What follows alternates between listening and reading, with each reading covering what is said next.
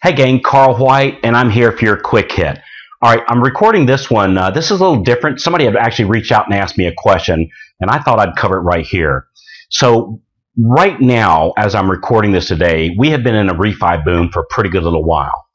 And uh, um, the one thing that you have to be careful of is when you have a team, take care of your team. It's real important that you understand that this is not this is not a uh, this is not a sprint it's a marathon. I'll never forget uh, Dan Marino, famous uh, Miami Dolphins quarterback, had this old saying. He used to, to his linemen, he would for every Christmas he'd give them a, a pair of gloves, right? Some nice warm gloves, and his tagline was "Help the hands that help you."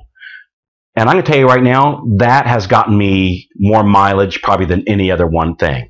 So on your team, and this is going to be like your processors, your underwriter, for those of you that have an assistant, uh, the people, that, the title companies, the people that help you, uh, you want to love on them.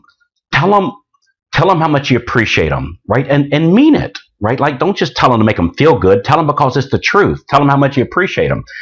Um, man, it's real important with with uh, with the volumes that we're seeing right now. My gosh, don't be barking at them. Like I get it, it gets frustrating, and some of us working a little bit longer hours than what we're used to. Don't uh, don't don't bark at the people, right? Don't bark at them. These are the people that's going to help you out, and cut them a little bit of slack.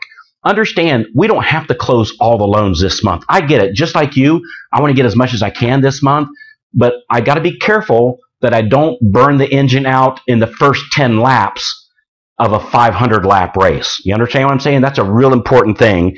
And understand that your words in your in your salesmanship, your salespersonship, your words is what get loans to come in. It makes your money. Words are very powerful, but they can be used powerfully in the negative, uncool way too.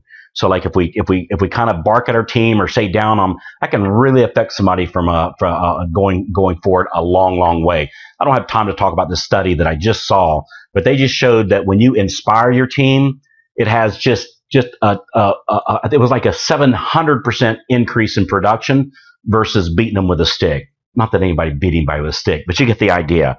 So um, some of you might be sitting there going, "Well, Carl, I really don't have a team, and and who like who does what?"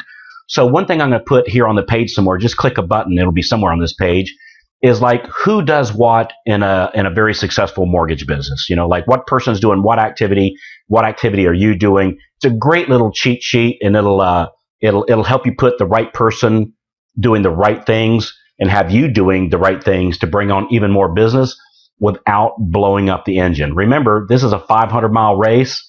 Let's pace it a little bit. We want to we want to win the race, but we don't want to uh, we don't want to blow up that engine in the first 10 laps. So uh, I'd like to help you with it, and I think the Who Does What will help you do it. So uh, my name's Carl White. I'll see you on the inside.